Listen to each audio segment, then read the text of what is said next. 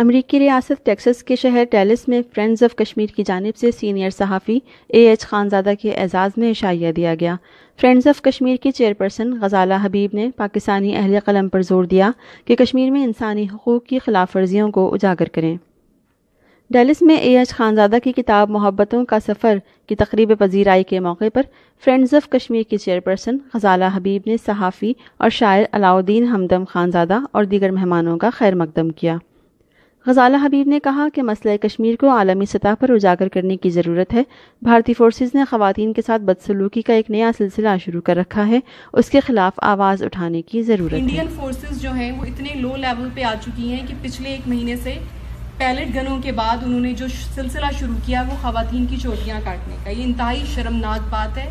اور میرا خیال ہے کہ جس طرح وہاں کی خواتین جرت مندی کا مظاہرہ کر رہی ہیں ہماری جو گھروں کی خواتین بھی ہیں انہیں بھی اس کے لیے سوچنا چاہیے بولنا چاہیے۔